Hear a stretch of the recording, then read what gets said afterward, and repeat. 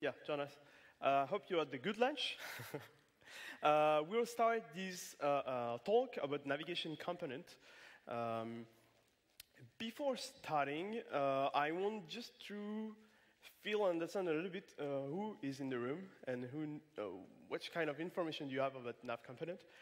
who knows what component, nav component, navigation component library and tools are and what it's aimed for? Okay, good. Uh, who already read the documentation of nav component? Cool. And who is using nav component uh, every day? Nice. Okay, it's cool. That's a good mix. And uh, actually, this talk is, uh, uh, target, is targeting the people that are just read more or less the documentation, and also people that use it every day. Maybe you will find a few information things that you can uh, grab and, and help you to understand the tool. Um, yeah, uh, but myself, I'm Eyal. Um, I joined Tag Heuer uh, Connected recently to work uh, on the connected devices, connected watches of the, of the brand. Uh, but I also worked uh, previously on another company that I will tell about. And actually, because this talk is a feedback of our use, uh, the, the, project I, have been part of, how we use Nav Component, what was our problems that we had to solve and how we tried to make it easy to solve and to maintain. Uh, you can have the slide right now on this uh, URL, URL uh, bit.ly uh, slash nav-component. Um, that's available. Okay, let's talk a little bit about the API. This will be the introduction. I will not tell you the whole API of Nav component because it will, be, it will require more than one talk. I will focus on a few very basic things, and we will see that with these knowledges, we'll try to dive in a little bit more on uh, uh, how you can solve problems. Uh, first, um, navigation component is based on uh, three, on the API, you have three main entities that you will deal with. Uh, the first is the nav graph, you have the nav host and the nav controller. Uh, the nav graph is a graph declared in XML most of the time. Um, and you will have in this graph all the destinations that your user will be able to reach during the user flow. The nav control, it will manage the app uh, navigation. Uh, it will use the navhost for that.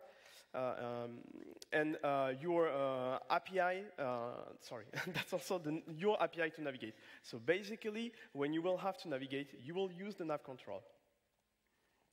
And the navhost is the navhost provider. It will instantiate the nav control, and um, most of the time also you will use the default implementation, but on sometime, sometimes you will uh, need to um, create your own navhost. So let's take a basic example now. Uh, so this is a recipe on how to use nav component on the very simple uh, case. So you will add the uh, uh, lib dependency on your project. You will create a nav graph. Then you will add uh, the anchor of the fragment in your UI.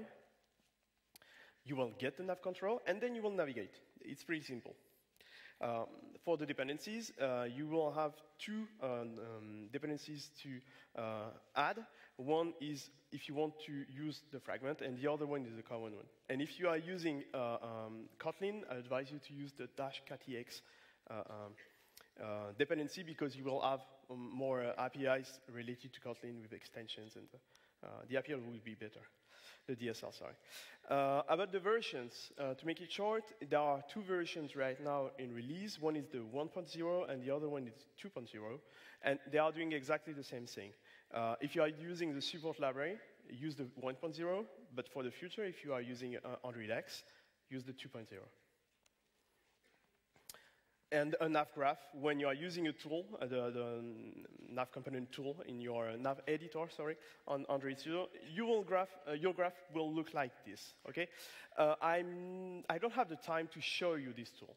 Uh, there are plenty of videos showing because it's a very, very interesting and very uh, powerful tool. Uh, I won't show you, just, we will just work on graphs like that. Uh, but when you have a graph, uh, you will define different destinations. And as I told you, a destination is just a screen you want to display.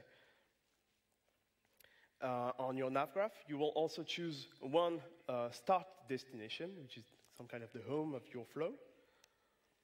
And to link different uh, uh, destinations, you have the possibility to use actions. So actions will just tell I'm on this screen, I want to go to this screen. And you can also add during these transitions um, or um, different information. And we will see that a little bit uh, later. Uh, when we are looking at the uh, XML, sorry, uh, it will look like this. So you have the navigation on top. You, oh, sorry, I don't see my mouse? Okay, that's fine. So you will have the um, navigation uh, um, tag on top. Then you will, uh, we will have two other uh, nested tags uh, called fragments here, because we are navigating through fragments. And we have an action uh, nested into the fragment. And this action, oh, sorry, this action will lead to the second fragment. So fragment one on top, fragment two uh, at the bottom, and the action from one fragment one, fragment one to fragment two in, uh, on your layout now, uh, you will have, for example, a container, and you will just declare a fragment. And again, I'm sorry. Uh, and the name of the fragment here, you see, it's the nav host fragment. That's the default implementation I was telling you about before. So now we know that nav host fragment is simply a fragment and actually a, a, a headless fragment. There is no UI, no, no real UI on the nav host fragment. Um, you also define on this uh, um, tag the nav graph argument that will lead to the nav graph I showed you before, you know, the XML file that we had just before. So this will tell, okay, this is your UI, and here you have a fragment, and the content of this fragment and this fragment will be led by the framework, uh, the, the, the nav graph that we had before. Now, on your code, very simply, on your UI, you will fetch the nav controller, and you will use navigate method to uh, navigate, simply. And on this example here, you can pass actions to navigate from one uh, target to another one, or just pass the ID of the fragment if you want to navigate directly to a destination without using actions. Let's focus a little bit more on the nav graph. Uh, the nav graph will uh, declare all the reachable destinations. I told you that already. Um, and it, uh, one constraint that it must have only one start destination. Uh, it can contain actions and nested graphs. Uh, destination, basically, it's a node in your graph, and that's a screen to display. And on our example, and how it's handled by default uh, on the library, is the fragment. An action. An action is netted, nested into a destination, or you can have uh, actions at the top level of your navigation, and then, then they, they are called global actions. Uh, it will contain a target destination, of course, and you can also define transitions, animations that will uh, occur when you are uh, um, changing your UI from one screen to another one. You, in the action, you can also uh, define the back behavior. The back behavior is basically how your, user flow is, will behave when your user is, tap, is pressing the back button. So maybe you want to go back just to the fragment before on your stack, or maybe you want to go on to another one that have been created, and, and then you will uh, um, uh, dismiss all the, uh, um, the fragment that you have, the screen, the destination that we have, you have on your back stack. Also, something that is uh, pretty interesting uh, with the action is that actually they can share the same ID. And that's some, not something uh, we are familiar with because when we are creating XML layout, um, we cannot use the same ID on two items, even if they are nested with different containers, right? But for actions, they can share the same ID, and you will see that we can use it uh, to do some, to simplify a lot uh, the navigation logic but we will see it later. Okay, uh, this is a very short chapter about additional features. That's basically the features I won't tell about so much. I just want to tell you that they exist because I, not tell, um, I don't have the time to explain all the things. So you will have safe arguments. So when you want to um, navigate from one screen to another, this, the target destination could sometimes need um, arguments, information to initialize. Uh, you can do that statically uh, with a very uh, powerful API, and it's called SafeArgs. You can also very easily use the navigation UI components of the standard components of um, the Android X and, and, material, and they are directly um, linked to the nav control. There is an API to interact with them. So it handles the toolbar, the nav drawer, and the bottom nav. We'll focus on the uh, bottom nav just uh, later on this uh, talk, because you'll see that there is something uh, interesting to, to, to, deal with. And also, you can handle deep links. So that was very short, but that's the thing I won't really tell about during this talk. Okay. Uh, yeah, I wanted to tell you about specific use cases, but I realized that it was really real use cases, and that they are finally pretty common on many applications. First, one thing that is also short. Uh, if you want to update your UI, you know, if you have an activity like that and you have a frame around your fragment and you want to update the fragment depending on the screen displayed, that's very easy. There is an API for that. Uh, it's a listener that you, are, um, you can add directly on the, the nav controller. Then you receive events. Uh, you, the callback is called when uh, uh the screen, uh, the destination is changed. Then you just change your UI, okay? This is a very simple and, uh, and basic things. But to go a little bit deeper now, I want to tell you about the context of the project I work with mainly for all the things that I, I will tell during this talk. Um, so, I used to work at Qonto, which is a French and European now bank. Um, and of course, we were working on the Android application. Um, and the paradigm that we choose is to have different activities, but one activity per feature. Uh, the project started in June uh, uh um, 2K17. Uh, uh, and something that is really, really specific when you have a banking application is that you have very long formulas that your user must fill. Uh, for example, when you want to join an organization or create an organization, four months after the app has been released, so it was pretty early on the MVP, uh, there were 66 screens that we had to deal with just for the uh, uh register uh, flow. And the flow can be very complex with circular dependencies, with conditional navigations. So you see the context, it was very specific, but we can learn from that. So we choose a few uh, uh, things. First, we decided to centralize the logic in a single place, so we can handle it very easily. We, we didn't want it to spread it through different screens. One place to hold all the logic. And uh, we will use uh, uh, view models or states uh, located in the view models to um, be used as an input or output, um, depending on the activities. And um, only one um, controller in our uh, architecture was supposed to touch and to use the nav controller. So what we decided to create is called now, on our case, Flow Manager, but you can call it Navigator, every, the, the way you want, really. Uh, and a, a, Flow Manager, his role is to convert the navigation events to um, navigation actions or destinations.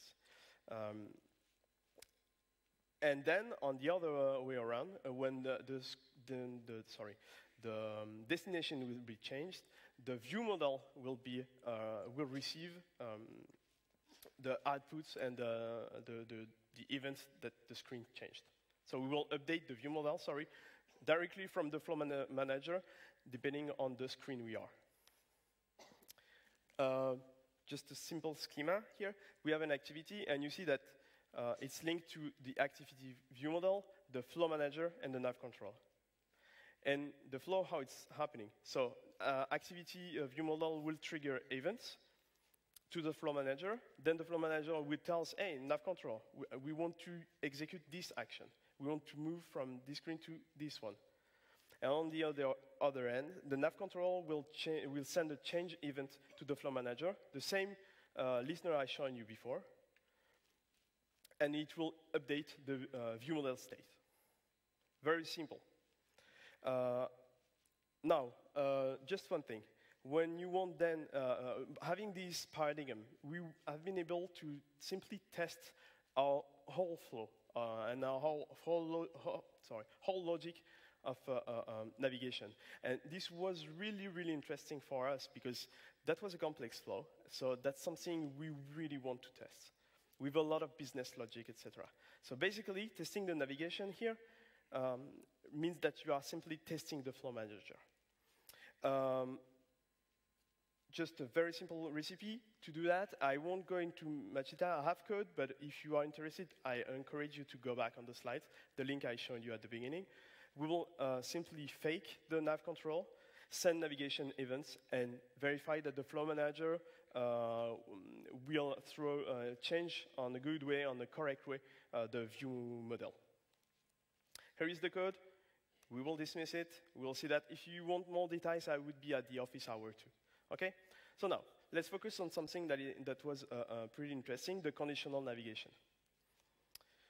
Let's start with a simple thing, the linear flow. So linear flow is when you have screens that are going from one to another. You, very simple, okay? So here is nav graph for that. You have three fragments, and in each fragment, oh, I think, yeah, you have three fragments, and in um, each action, you will have, uh, in, sorry, in the two first fragments, you have actions to go to the next one. Here and here. And each action have a specific ID. Of course, first is action info to phone number, so info uh, screen to phone number screen. And phone number, uh, and the second one is phone number to verify SMS token.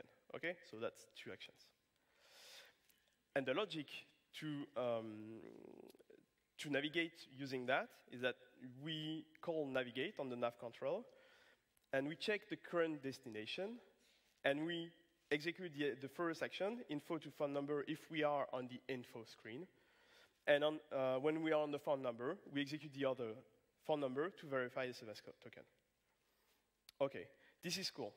It's okay, but it's hard to maintain. And remember, I told you that the actions can share IDs, and this will really simplify. So if we are using the same ID here, action next, on the both actions, the code uh, to navigate into our flow is really simplified. So from this, we just have navigate and call action next, because that's a generic action. And what we decided in our context is to have this rule. So when a destination uh, contains a single action, we use a generic ID. Okay, now we don't have a linear flow. Uh, actually, we need to handle this. You know, the choice when you are on the phone number fragment, you want to go to the next screen. Should it be uh, the verify app token fragment or the verify SMS token? So here is, oh, formatting, sorry. Uh, so here is the, uh, uh, um, the, the, nav graph. We have these two actions inside, inside the phone number um, uh, tag. And this is the logic that we have. So where, uh, again, we are checking the current destination. When it's a phone number, we call a method to check uh, with the logic, we'll see just later, um, what's the action to execute. And otherwise, for all the other screens, we decide that the action next must be done, must be uh, executed. And you see the get phone number action is very simple. Uh, we use the view model in this case to tell, us, uh, to tell well, where we are supposed to go. And we return the good action depending on this logic, which is a very business logic that we don't really care in this talk. But when you have this kind of flow, or this one, which is a little bit more complicated, or this one, which is pretty big, and that's the register flow I was telling you about, the 66 screen that we had to handle. And uh, if you see here in the middle, there is a circular flow. So sometimes the user have to go through uh, um, a flow several times on the same graph. So when you, you want to handle this, uh, your logic is starting to be crazy. And uh, I want to show you just an example of how we try to make it simple uh, to maintain. So our idea is that we keep the flow manager, but inside the flow manager, we have something that is called a flow, and it will receive inputs, and it will give as a feedback an output, which is the action to execute. So the input is the current destination, of course, and also the current form state, because our user is filling a form, basically. And uh, yeah, and basically this is the view model sometimes, or it can be uh, uh, the, just a, POJO or POCO, or you know, the um, simple uh, uh, business uh, object. so a flow will contain the navigation logic as a map. The key is the current destination, and the value of the map is the logic to execute to know where to go. And here is an example of implementation, but there are many ways to do it. Uh, we created an object, uh, register flow, which is the flow of the register uh, uh flow. Uh, we created an action, a data class that is uh, an action. Um, yeah, the action is the value type of the map. And here is the, uh, the, the, um, the, parameter is the register form, the form I told you about. You know, what's the uh, current, sorry, basically what the user already filled into the form. And the result of this lambda, because actually this parameter of this action is a lambda, a Kotlin lambda, um, the result is the action to execute. So we have the, ma the map that we uh, uh, instantiate uh, just at the bottom. Uh, on this example, when you are on the phone number, you will execute this action. Yeah, the phone number is, of course, the current destination ID. And this is the logic that we will use to uh, simply tell when we are on the phone number, we have this logic. So uh, uh, when we arrive on the phone number, we check if we have invitations. If we have invitations, we send the user to the invitation selection screen. And otherwise, we send, them, uh, send it uh, to the pricing because uh, basically it will create a new organization. And this way, sorry, and this way, you will have for each case, for each screen where you have business logic to implement and to maintain, to route uh, the user to a, the correct destination, you will be able to enrich this map and, uh, and maintain it on a single place. And the API of this object is a method that is called uh, getActionFor, and you give the current destination with the formula, which is the input I told you about. Uh, when uh, we find the current destination in the map we execute the action, uh, the action and give the, uh, the, the, the, answer. And on any other case, again, we will return this generic action because it means that there is only one action in the current destination. Yeah. This way, we have been really able to solve a lot of uh, uh, main, maintain, maintain, maintenance problem and, and to grow a little bit more and to change also the flows very easily. Okay, now when you have different multi-start points, basically sometimes, uh, here is the uh, uh, login flow, you will want to have different first page in the application. So the, uh, on the left you have the reconnect page, uh, sorry, the login page. Sorry, the render is a little bit strange, but that's fine. So you have the login page with the email and the password that does not appear right now. I don't know why. Uh, and you have the reconnect page in the middle. Uh, the reconnect page is used when the user already uh, logged in once, okay? But you have to choose which uh, home you have to use. You, what is the start destination of your nav graph? And sometimes you want to redirect directly from uh, the home destination to the, an, another screen, in our case, the reconnect page. And that's exactly you need to do, what you need to do. So in, if we look at our simplified graph, we have our own de uh, home destination, and we want to redirect and execute this action. So what we decided to do is, in our activity, we instantiate at the beginning, uh, the login activity in this case, uh, we instantiate the flow manager for the login uh, with all the parameters needed, and at the end of the onCreate, we call on the flow manager navigate to initial destination. And then it will simply call navigate using uh, the correct uh, um, action just when we need to redirect the user. Okay, so we do that on, on in the onCreate directly. The problem with this, oh sorry, yeah, something I needed to tell you because of a few animations uh, that we had to implement and transitions between all the screens. Uh, we had to use a, a, um, a first screen that we called splash, and what we wanted to do finally was to execute this action. But that's just a detail now, uh, let's see. Uh, on our fragment, what we have on the splash screen, uh, we will have two actions. One is directing to the reconnect page, and the other one to the login page.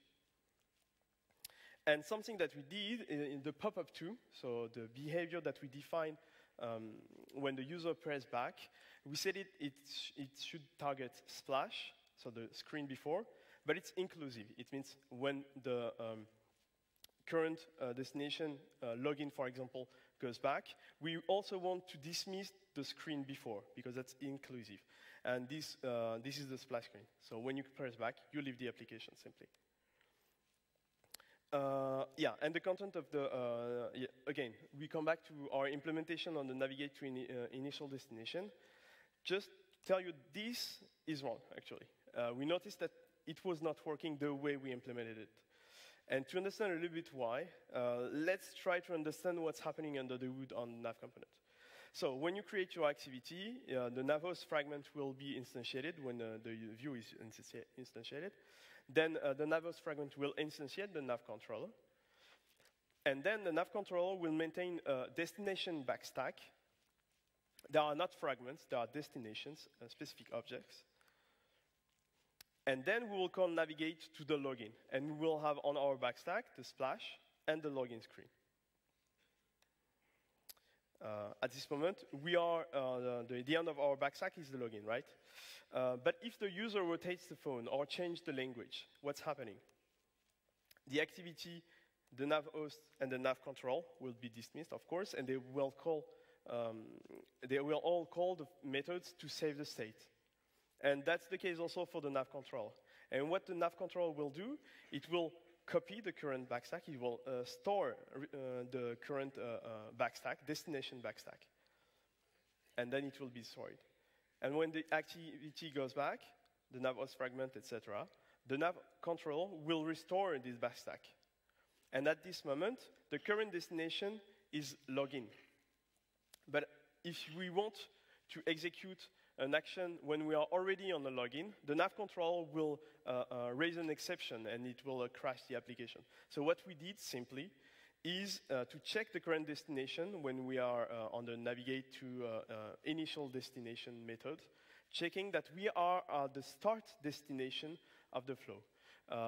we could check that on the activity level, you know, with the bundles, the, the um, sorry, the, yeah, with the bundle that we receive. Uh, uh, but we really wanted to make our uh, flow manager robust and testable, and that's something that we wanted to test.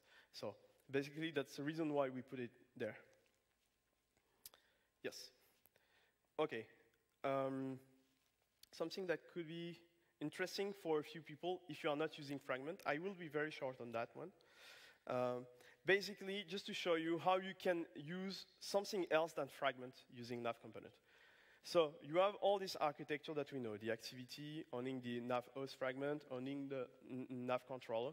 And in the nav controller, you will have a navigator provider. And this provider is a simple map linking a tag, a fragment, or an activity that you can use on your XML uh, nav graph uh, to what is called a navigator fragment navigator, activity navigator. But actually, you can create your own. Uh, and basically, the navigator, when you are on the navigation.xml, uh, the nav graph, uh, when you are using fragment or activity, it will choose the navigator correct corresponding to uh, uh, uh the, the, the, the, item that you, that you wrote. Um, basically, when you are using fragments, it will use the fragment manager to transition between a, a screen and change the screen uh, on the display. Uh, a navigator, you can uh, implement it uh, from scratch. Uh, you, it, will define the mechanism um, for navigating within the app. And it will also have to maintain the backstack. And something that you have to do is to annotate uh, your class, because that will be a simple class, with the, with the navigator.name annotation to provide, in this case, I, I shown you the code that you have on the fragment navigator. You see that you have the fragment um, uh, label defined on top of this class. Oh. Okay, uh, let's talk about the uh, bottom navigation.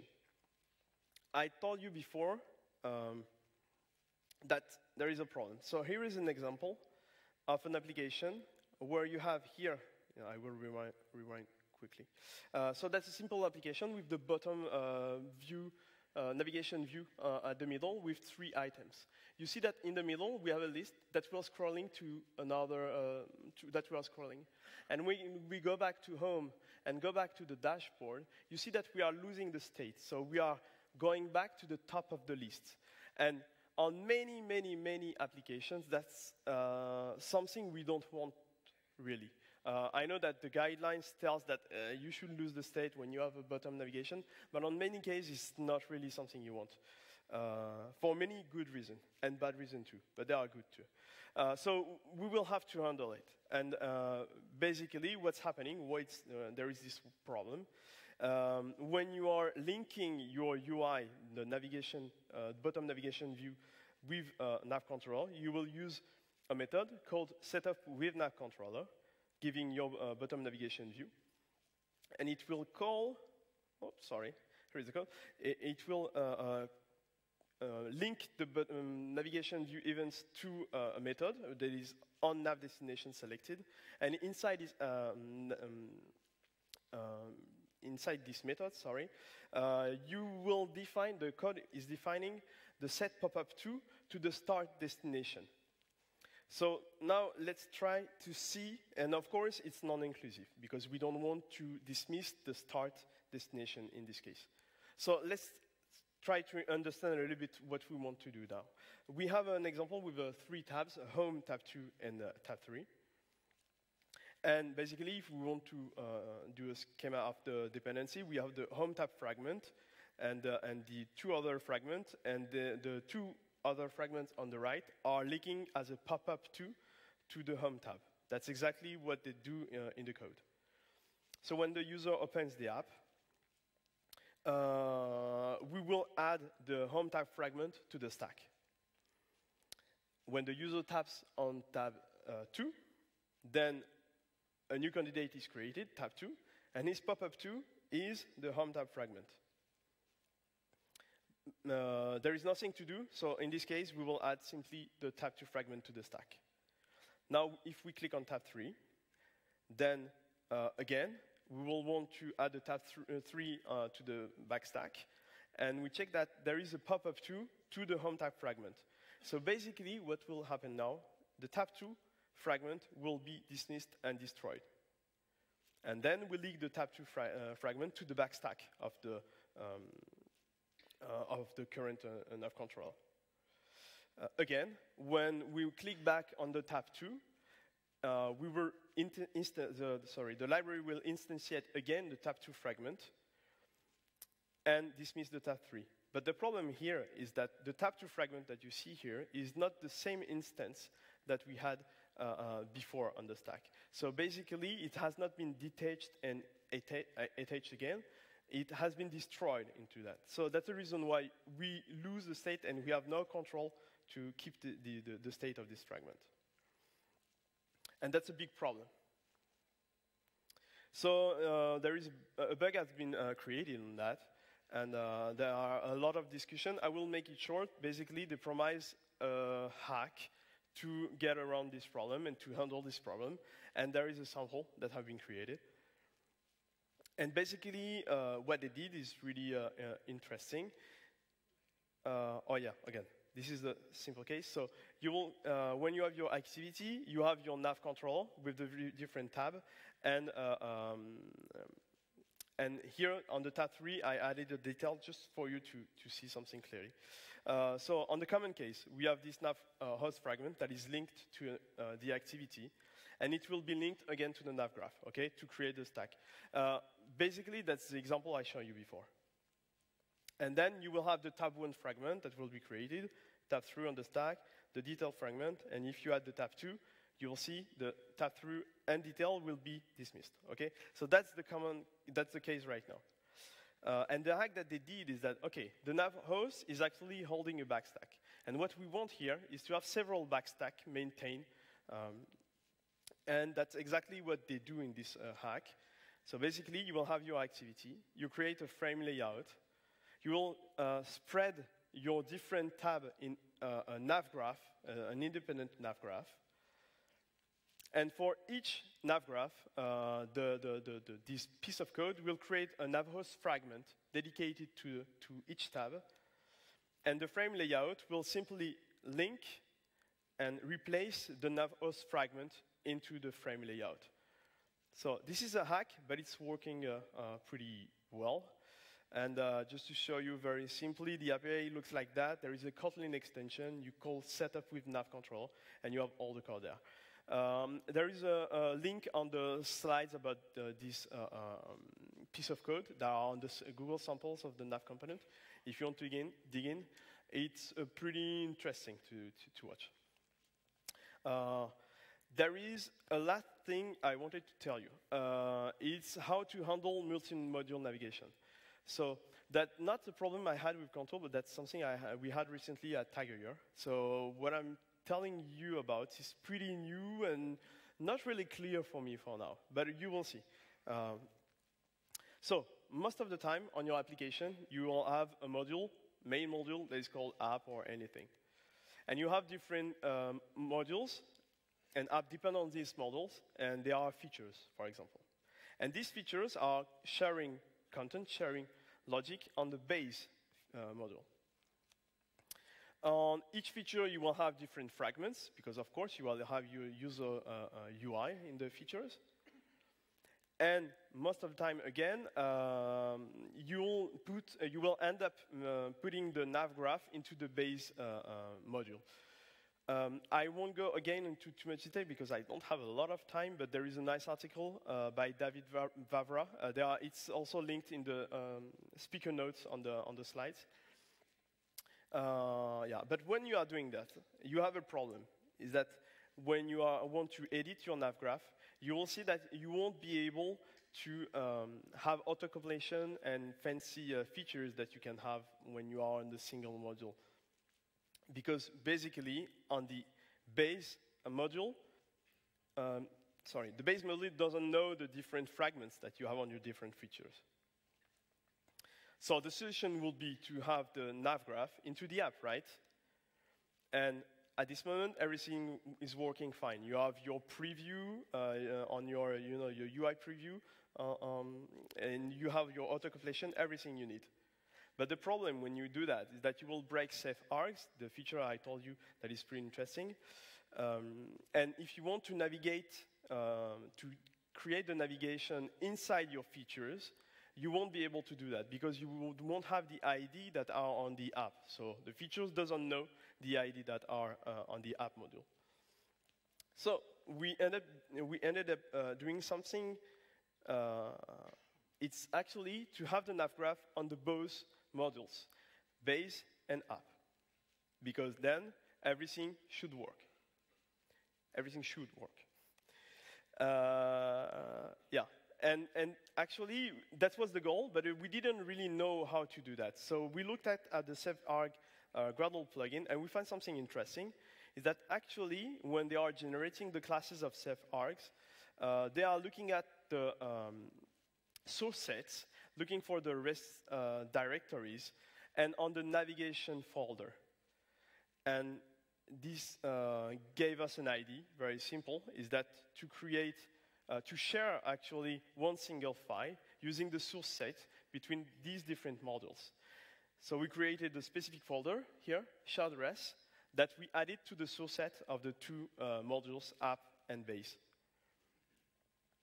Uh, so basically, on our app, we will add the source set on debug, only, just debug, uh, and uh, on the base module, we'll add it on main. Why we do that on debug only is that when you are doing this, so when you are sharing a navigation um, graph file between different modules, it will break ProGuard because it will generate several times the same uh, classes. And that's something, that's the only way we, had, uh, we achieved to have a good developer experience with something that I was working and that was still clean in terms of uh, uh, architecture. And the good thing with that is that it's a two-line fix using an official API. But that's still a hack. There is no real feature to handle multi-module uh, development using nav uh, uh, component right now. that's a problem. And yeah, you have this hack. I don't know what you can do with that. We will keep it, uh, but we are really, uh, uh, we will be very thrilled to have something uh, officially supported in Android Studio for this kind of thing. Uh, yeah.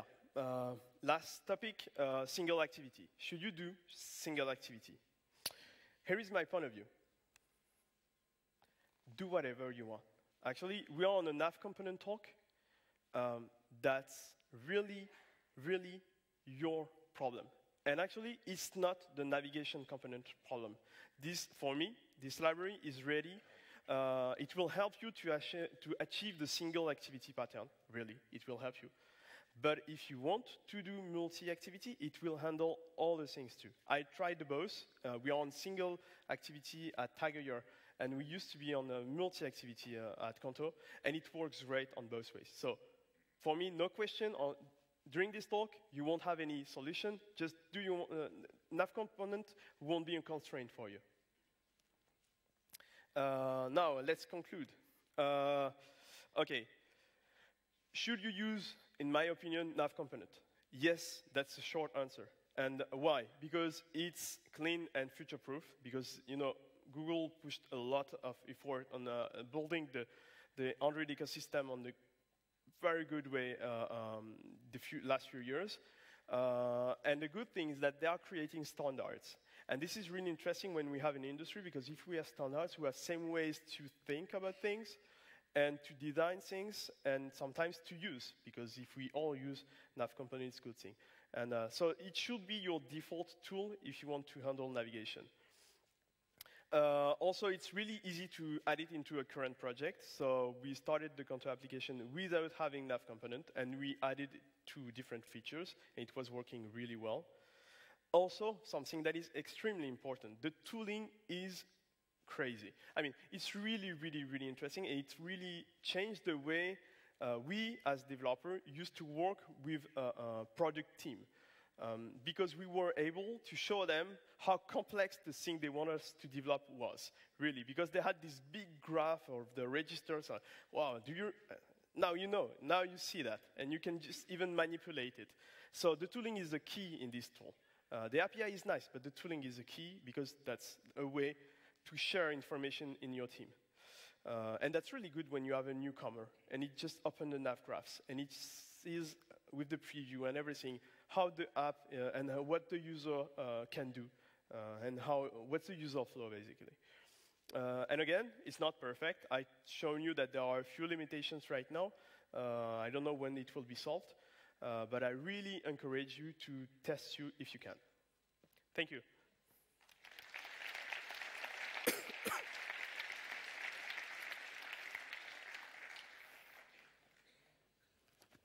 Yes, if you have questions, uh, there, I have an office hour uh, soon. I don't know. At 4? Yeah, at 4, and the office hour uh, corner. Thanks a lot.